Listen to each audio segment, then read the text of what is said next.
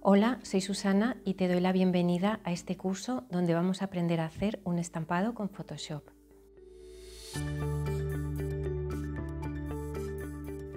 Soy ilustradora y durante más de 20 años trabajé también como diseñadora de moda.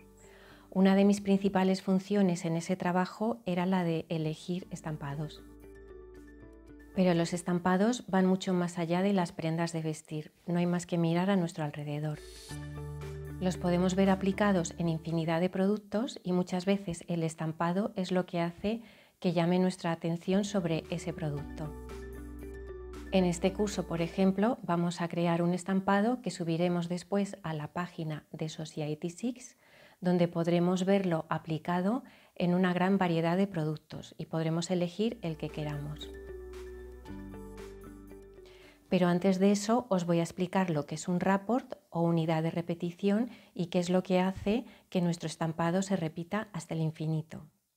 Después dibujaremos nuestro motivo y si has realizado el curso anterior en el que te explicaba cómo dibujar unas flores en acuarela, puedes utilizar esas mismas flores, puedes seguirme dibujando las flores que voy a hacer en este ejercicio o puedes utilizar cualquier otro motivo.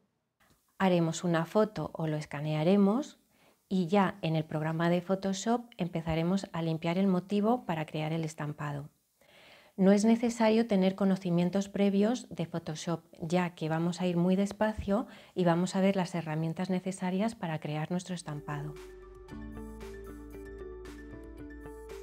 Como proyecto final os invito a que os registréis en la página de Society6 para que podáis ver el producto aplicado y si queréis lo podréis comprar u ofrecer a la venta para otros compradores.